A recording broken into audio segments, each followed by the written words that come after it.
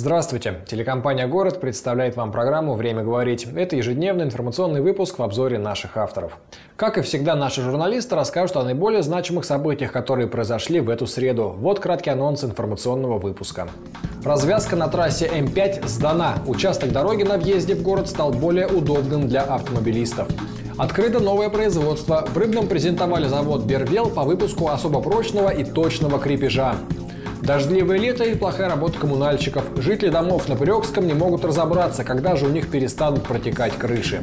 Ну а теперь об этих и других событиях более подробно. Сегодня состоялось открытие транспортной развязки на 184-м километре автодороги М5 «Урал». Это место возле поселка Дягилево, прямо на въезде в Рязань со стороны Москвы. Строительство развязки стало довольно крупным проектом для рязанских дорожников. Сейчас работы по возведению нескольких эстакад выполнены успешно. И сегодня торжественно открылось движение по новому дорожному объекту. Новая развязка на 184-м километре трассы М5 «Урал» была торжественно запущена в эксплуатацию эксплуатацию. Развязка позволяет легковому и транзитному транспорту, минуя Рязань, проезжать с московской трассы на Самару, Уфу и Челябинск. Этот дорожный узел крайне был необходим Рязани и области, и городу необходим, да и транзитному транспорту необходим. Его строительство велось при поддержке Минтранса Российской Федерации, за что мы очень благодарны руководству Минтранса. Росавтодору благодарны за то, что они э, включили в программу э, реконструкцию дороги М5, которая проходит так называемый южный обход города Рязани и руководству э, дирекции «Большая Волга». Мы э, развязываем сложный узел на въезде в город Рязань.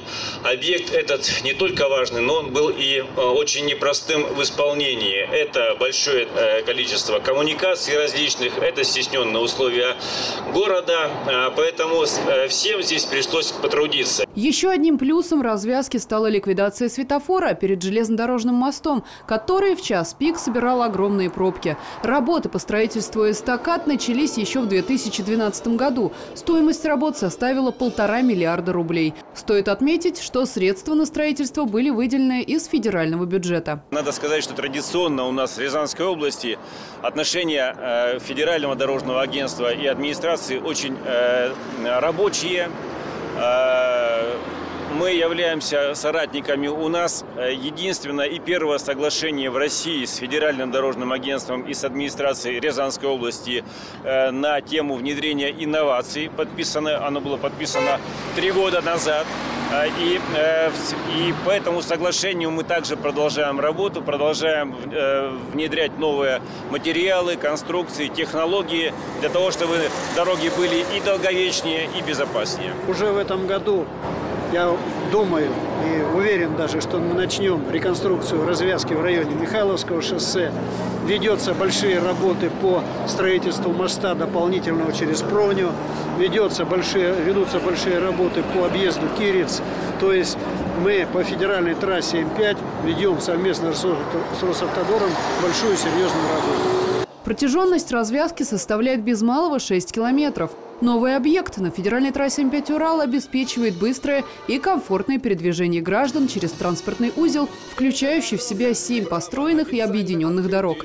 Количество полос движения колеблется от 2 до 6. Ширина проезжей части местами доходит до 28 метров. Федеральная трасса М5 «Урал» является одной из важнейших транспортных артерий среди дорог – также она является одной из самых длинных по протяженности – всего 1880 километров. В 2016 году магистраль отмечает свое 70-летие. Продолжается развитие промышленного потенциала Рязанской области. Сегодня завод по производству особо прочного крепежа «Бервел», который располагается неподалеку от города Рыбное, выпустил первую партию своей продукции. На пуске конвейера побывала и наша съемочная группа. Бервел – так назвали первый в России завод высокопрочного крепежа, который открыли сегодня в Рыбном. Это событие имеет большое значение для экономики и промышленности не только Рязанской области, но и России. Изделия, которые будет выпускать завод, смогут заместить аналогичную импортную продукцию. Церемонию открытия посетил губернатор Рязанской области Олег Ковалев. Новое предприятие, современное предприятие, высокотехнологичное предприятие. Э, предприятие, которое зацелено на импортозамещение. Э, что еще может быть? Э, хорошие, высокоэффективные рабочие места, высокопроизводительные рабочие места, а значит, высокооплачиваемые рабочие места. С рабочие места для молодых, будем говорить так. Э, значит, э, конечно, безусловно, это... Вы понимаете, э, вот 300 рабочих мест здесь будет с выходом на проектную мощность. Значит, 300 рабочих мест, как правило, в экономике есть неписанные правила, когда создание такого предприятия в 300 рабочих мест дает еще шлейф порядка, порядка 300-400 таких же рабочих мест. Как отметил директор завода Юрий Медведев, место для постройки выбрали не случайно. Руководство завода посетило многие районы, но остановило свой выбор именно на Рязанской области. Рязань замечательно, просто замечательно своими э, трудовыми э, кадрами, потому что люди э, образованы, технически образованы. Люди изголодались именно по нормальной работе, не э, в какой-то обслуживающей там сфере, а именно по работе в промышленности. Поэтому э, проблем каких-то с кадрами мы не испытали за все время с начала реализации этого проекта. Люди ну просто замечательно, я могу бесконечно о них говорить, благодаря которым, в общем-то, и был построен вот этот завод. Сами работники завода условиями труда довольны, с удовольствием рассказывают о том, что коллектив сложился дружный, а работа интересная. И главное, есть все возможности для дальнейшего развития. Вообще, за свой короткий срок, сколько я здесь проработал, вполне положительные эмоции. Вот. Рвение было на этот завод из-за того, что как бы завод новый, совершенно, как было уже ранее сказано, то есть новый, оборудование новое, все новое, коллектив молодой, вот, что весьма очень приятно. Как бы есть возможность проявить себя, вот, дальнейшее будущее. Стоит сказать и о том, что при производстве продукции на этом заводе будут применяться новейшие способы металлообработки – они обеспечат высочайшее качество изделий. Следующий видеоматериал снят, как сказали бы раньше, по заявке телезрителей. К нам в редакцию обратились жители Приокского поселка с просьбой помочь разобраться в своих бытовых, то есть коммунальных проблемах. Жители многоквартирного дома по адресу улица Октябрьская, 57, уже долгое время мучает дырявая крыша. Причем, как выяснилось, страдают от дождей жильцы не только верхних этажей. Наша съемочная группа побывала в Приокском микрорайоне. Дождливое воскресенье для семьи Александра Войтенко превратилось в настоящее стихийное бедствие. Крыша дома 57 на Октябрьской улице не выдержала сильного ливня. Результат – испорченные стены и потолки в нескольких квартирах на пятом этаже. В воскресенье начался дождь, вроде такой небольшой, потом усилился, и начала бежать вода с потолка. Сначала на кухне, я сначала подумал, что жена там что-то разлила или с ребенком. Начало аж ручьи бежать в ванне и в кухне. Пострадавшие жильцы утверждают, что виной потопа в квартирах верхних этажей стала работа строительной фирмы «Спецстройсервис». Ведь именно эта рабочая бригада еще 1 августа начала делать капитальный ремонт кровли. У меня вообще никогда в жизни не текла крыша. Если так разобраться, до капитального ремонта крыша у меня не текла. А сейчас я не знаю, что будет дальше. Сейчас все мысли Татьяны Кузнецовой заняты одним, лишь бы вода не повредила проводку. Накануне главный инженер местной управляющей компании пообещал женщине устранить причины протечки крыши в течение недели. Бригадир, с которым нам удалось поговорить, называет несколько другие сроки. Думаю, до конца сентября мы закончим, как будут позволять погодные условия. Вот. Так получилось, что пошли дожди. Ну, ребята делали все, что могли, закрывали. Ну, видимо, случились какие-то протечки. Вот и приходится рабочим при ремонте на крыше надеяться на высшие силы природы. Эти самые небесные силы оказались неблагосклонны и к другим домам на улице Октябрьской. В соседнем доме 53 во время сильных осадков вода доходила аж до третьего этажа. Квартире Людмилы Цукановой чудом не случилось трагедии. А теперь вода пошла в другую половину квартиры. Там упал потолок. Гипсокартонный потолок упал метр шестьдесят на два метра. Чуть не убил ребеночка. А руководитель, вот Марья Павловна, сказал, что ну, преступление не совершилось беды. Ну и замечательно, все живы. Все, на этом и кончил. За 10 лет существования проблемы женщина обращалась и к главе администрации, и к депутатам. Результатов пока нет. Каждый год коммунальщики что-то ремонтируют на крыше, но во время сильных осадков вновь начинается потоп. Ремонт в квартире ей пообещали сделать лишь когда полностью устранят проблему с кровлей. Возможно, этот замкнутый круг разорвется раньше, чем случится настоящая трагедия. А вот здание общежития Рязанского медуниверситета на улице Чернобаевской уже не нуждается в ремонте. Не так давно там завершился ремонт внутренних помещений. И с началом нового учебного года в обустроенные комнаты заехали студенты-медики. Раз, два, три. Все.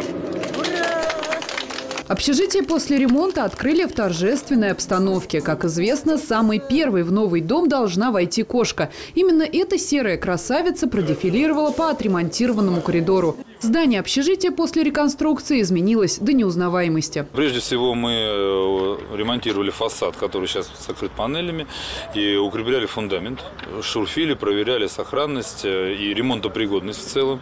Затем уже разбирали, ремонтировали крышу полностью и заменили окна. Это был первый год ремонта, то есть мы фактически сделали коробку, стоящую на фундаменте. И затем мы перешли уже внутрь, это все замена всех сетей, а, вода, отопление, канализация канализация, газовые сети, все было сделано по-новому. Далее провели перепланировку. Устаревшие комнаты на 8 мест заменили двух- и трехместными номерами с санузлами и новой мебелью. В них расселится около 100 человек. Большая часть из них – это обучающиеся на факультете дополнительного профессионального образования. Условия проживания, как в пятизвездочном отеле. Плата более чем доступная. На сайте университета вы можете найти в реестре 540 рублей. А, это бюджетники и 1040 рублей, 1042, по-моему, это внебюджетная форма. То есть стандартная абсолютно. Отремонтированное общежитие значительно снизит потребность в жилье для обучающихся вуза. Качественное развитие материально-технической базы медицинского университета сегодня пример для многих. Это одно из важных составляющих, это бытовые, которые помогают студенту хорошо прийти отдохнуть, позаниматься хорошо, то есть не тратить время на какие-то бытовые трудности. А вот э, такой пример э, медицинского университета, когда они э, приняли решение и не только бюджетные средства, но и внебюджетные, которые заработаны вузом, направили на улучшение жилищных условий для студентов, я считаю, является хорошим примером. В общежитии уже заселено несколько комнат. Совсем скоро оно станет, как сказали на открытии, не вторым, а по-настоящему первым домом для жильцов. А сегодня в 39-й школе рязанские спасатели провели одно из своих первых учений в сентябре. Отрабатывали сотрудники регионального управления МЧС взаимодействие при возникновении возможных экстремальных ситуаций в общеобразовательных учреждениях. В ходе тренировки в школе были отработаны действия руководства и персонала в случае возникновения пожара, а также способы эвакуации детей из здания школы. В свою очередь пожарники потренировались в ликвидации загорания. По замыслу в одном из учебных классов школы возник условный пожар. Согласно сценарию, МЧСники спасли четырех человек и передали их врачам скорой помощи. По итогам тренировки был проведен анализ действий педагогов и персонала учебного заведения в критической ситуации, которые в целом с поставленными задачами справились. Рязанские детсады продолжают расширяться, особенно в многонаселенных районах областного центра. В детском саду номер 121 на улице Зубковой открыты еще две группы для юных ребятишек. С понедельника, 7 сентября, в детском саду номер 121 начали работать две дополнительные группы. Группа номер 8 «Солнышко» рассчитана на 20 детишек в возрасте от 2 до 3 лет, а по соседству группа номер 9 под названием «Капелька». Там будут заниматься 27 малышей от 3 лет. Новые группы созданы за счет оптимизации имевшихся помещений. Полностью оснащены всей необходимой мебелью, игровым оборудованием, мягким инвентарем и канцелярскими принадлежностями. В каждой группе с детьми будут работать два воспитателя и помощник, Родители, присутствовавшие на торжественном открытии, были очень довольны и поблагодарили руководство детского сада номер 121 и администрацию города за то, что они нашли возможность увеличить количество мест в саду. Для малышей, их мам и пап воспитанники младших групп вместе с воспитателями устроили праздничный концерт с хороводами, танцами и веселыми играми. И это был заключительный видеоматериал нашего сегодняшнего выпуска. Ну а далее в эфире программа «Подробности». Гостем в студии станет директор городского дворца детского творчества Юрий Меликов. И речь в беседе пойдет о новом учебном году в наиболее крупном центре дополнительного образования. А на сегодня с новостями это все. И до встречи в эфире. Уважаемые жители города, Рязанская городская муниципальная энергосбытовая компания напоминает о необходимости своевременной оплаты электроэнергии, в том числе предоставленной на общедомовые нужды. Телефон для справок 40 20 40. 40 20 40.